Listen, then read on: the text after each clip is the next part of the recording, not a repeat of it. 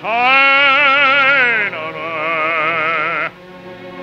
e belle che il mio Platone amato per voi risplende il fato. Con i lampi e procciare non voltraggi non mai la cara pace ne giunga profanarvi.